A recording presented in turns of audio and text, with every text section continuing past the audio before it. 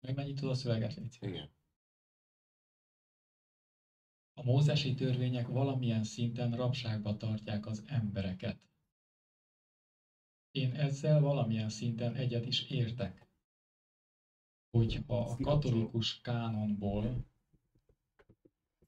idézünk pár szöveget Sirák fia könyvéből, a 26. fejezetből, vagy bocsánat, a 6. fejezetből? Például Sirák fia, 6. fejede, fejezet, Aha. Vegyük például a 24. verset. A bölcsesség bilincsét rakd a lábadra, a nyakadat meg ne hajtsad az, meg hajtsd az igájába. Uh-huh. Hajtsd alá a vállad, s hordozzad a terhét, a gyeplőid ne undd meg sohasem. Erős támaszul a 29 vers, erős támaszul szolgálnak majd bilincsei, nyakláncai pedig pompás öltözékül hogyha leugrunk a 35. vershez, szívesen hallgassd meg Elohim minden szavát, és ne hagyj észrevétlen egyetlen bölcs mondatát se. 37. vers, elmélkedjél sokat Jahua törvényein, az ő parancsain gondolkodj szüntelen.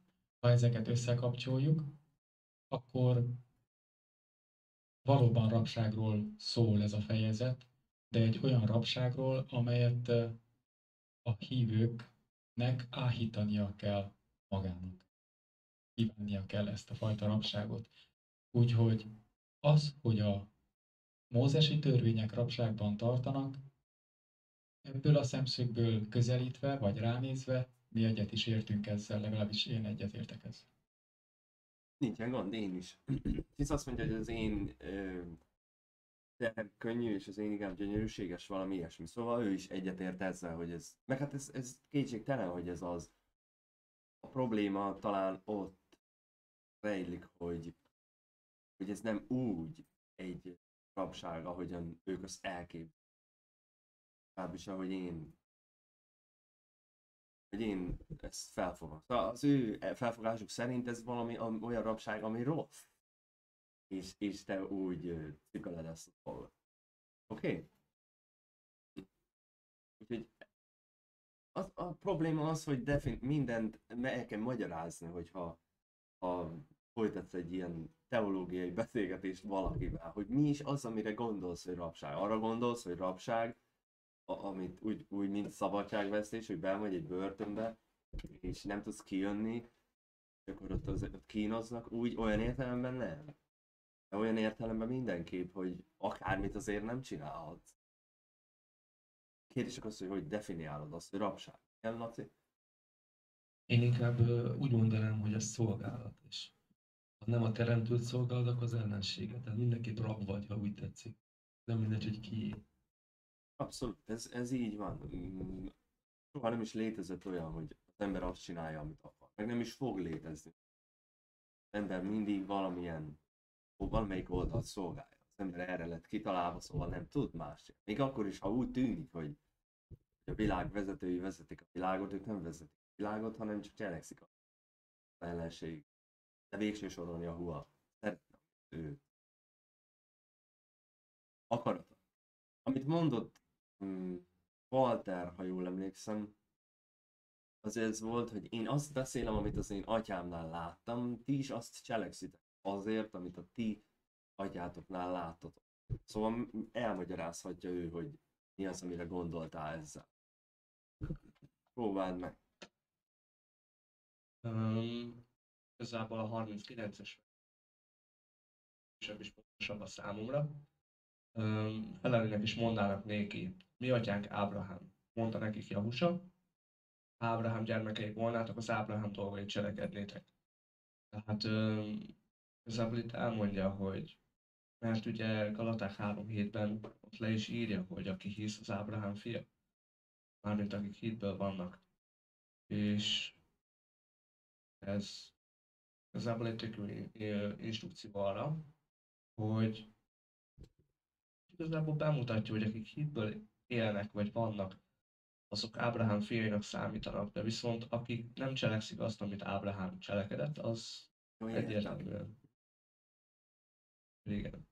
A, a, a lényeg az szerintem, hogy van, amit mond János 8-as fejezet, az az, hogy vannak ergon ez munka, hogy cselekeded, ez pedig tenni valamit. Ezért hát Jahusa azt mondja itt az embereknek, hogy van egyfajta cselekedet, amit nekünk csinálnunk kell. Ez nem csak valami, ami, ami elmélet. Ez, ez nem arra gondol, hogy képletes, hogy vannak cselekedetek. A kifejezések megmutatják, hogy ezek gyakorlati dolgok. A poéó, ez valami, ami amikor mondta Jahua, hogy, hogy neki dolgozzon az ember, az ez a fajta cselekedet. Munka, teszt, valamit. Ő is számos alkalommal alkalmazza magát. Amit akart szerintem az az, hogy ha vannak cselekedetei Ábrahámnak, mint ahogy itt azt írja, és aki hitből van, az Ábrahám fia, tehát ez mindenki másra, ezek a cselekedetek átruházhatók. A probléma ott lesz, hogy azt fogják mondani, hogy Ábrahám vándorolt a pusztában, ha ide küldte, oda ment, ha oda küldte, oda ment, mint ahogy Noénak a parancsolata pusztán annyi volt, hogy építsen egy bárkát. És Ádámnak meg, hogy ne egyen a fáról. Érthető? Mm, az a nehézség, hogy meggyőzni az embereket arról, hogy az, ami ma úgy ismerünk, hogy a tóra vagy a törvény, az mindenkire vonatkozott mindig is. Noéra nem csak az vonatkozott, hogy építsen egy bárkát. Nem azért volt igaz ember, mert azt mondta neki, hogy építs egy bárkát, és ő megépítette. Már előtte igaz volt, mikor mondta neki. De ezt nagyon nehéz megértetni. Hisz ha azt mondta Noénak, hogy az, az egész fű, meg minden, amit adtam, az, az eledel nektek, vagy kinek mondta, de mindegy. Akkor a, rájuk az vonatkozott meg, amit nekik mondott. De, de, de az összes többi az később jött. És ezért hát itt abban falba fog mindenki ütközni, ha ezt mondja, hogy Ábrahám cselekedetei, hogy neki nem kellett a tórát megtartani, csak azt, amit tudjuk, hogy neki parancsolt, és amit ő csinál. De, de az, hogy engedelmesen követte, ha azt mondja, hogy ide megy. Érthető?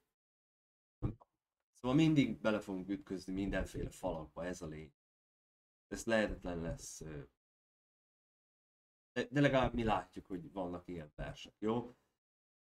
Ezzel kapcsolatban van valakinek esetleg még valami, hogy ne legyünk zsidók, hanem szabadok, ha netán mégis megvalod uradnak Jézust, akkor elnézést. Mm, ezek mind azok, amikről beszéltünk már, és ezért nem is vesztegetném erre az időt, lehet sokat, hanem talán meddig jutottunk el ezzel, amit Krisztus hozott létre teljes igénye nélkül, ezt pedig a szellemről mondta, akit kapniuk kellett azoknak, akik benne hittek. Nem volt ugyanis még, azt hiszem ezt megbeszélt, nem? Erről már lett volna szó, igen? Nincsen, én nem láttam. Meg ez így egybe van, szóval ez még nincs meg. Én arra a következtetés jutottam, hogy ezt még nem beszél. De erről már beszéltünk. Hogy Ezékielnek elérhető volt a szellem. Számosoknál fogok. Már csak azért is, mert beszél róla elég sokat a 36-os fejezetben, a 11-es fejezetben is beszél, de a 37-es fejezetben is beszél a száraz csontok völgyénél, amikor azt mondja, hogy adok nektek ruhákat belétek, és, és, és őt azt mondja, hogy szólj ezekhez a csontokhoz, hogy keljenek életre, és akkor jön beléjük ruhák. Szóval ez mindig, sőt, nézzük tegnap bölcsességkönyvében, hogy Salomon is arról beszél, hogy kodes ruhák.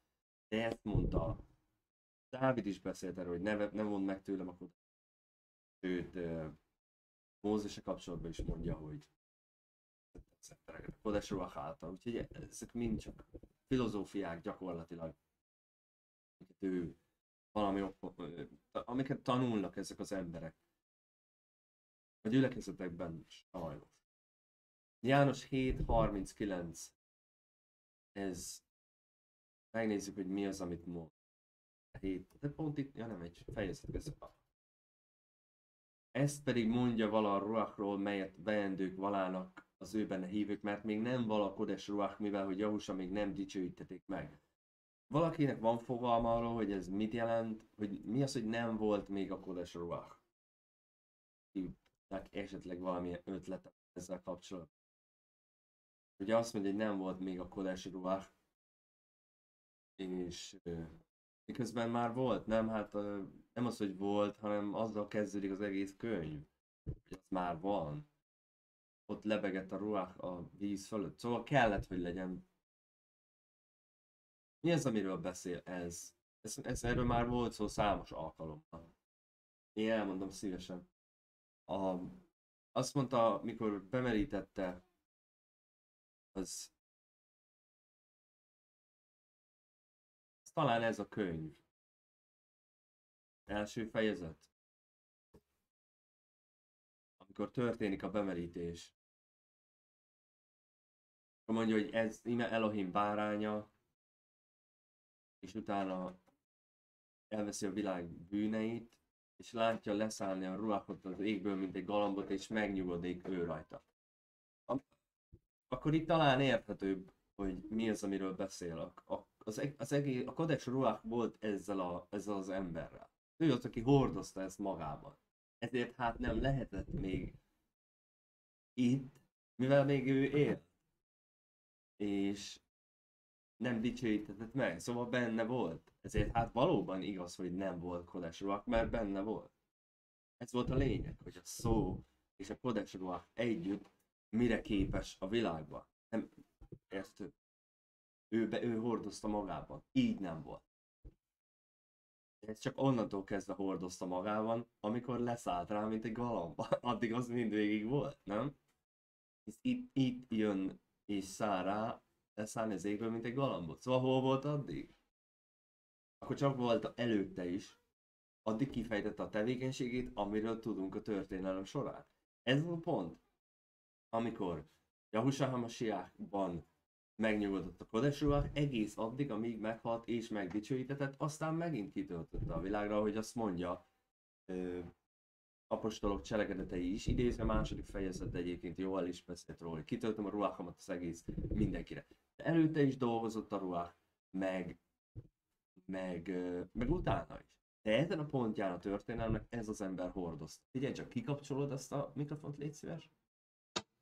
Ez mindig ilyen hangot fog adni? Akkor passzold át oda, és akkor nem lesz az a nagy örgés-zörgés köz. Akkor meghallgatjuk, hogy mi az, amit Jani szeretne mondani, csak kapcsold be.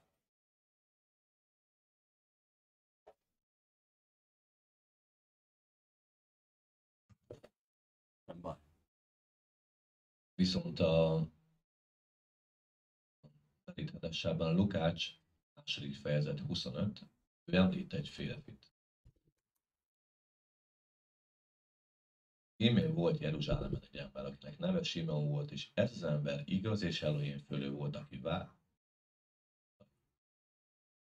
Ja, bocs, ezt olvastad? Igen. Oké. Okay. Várta Izrael vigaszát, és a Kodes ruák volt rajta. Tehát akkor ez is mint egy megtáfolja, hogy nem volt Kodes ruák. Ez is megtáfolja, de azt nem tudom, hogy ez, ez a körülmet, mi az, hogy nevezik őt, jó, szóval ekkor még nem volt ő bemerítve, látom. Ja, értem, amit mondasz, hogy, hogy már volt a kodes. Ja, persze, hát az első fejezetben is Zakariás meg Eliseba